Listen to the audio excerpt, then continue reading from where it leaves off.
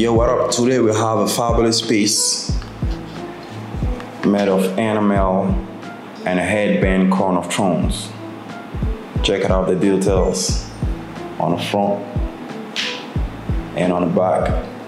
Obviously made by ICEGIANT. So let's check it out real quick. Right here. Boom, verified, you know. And here too.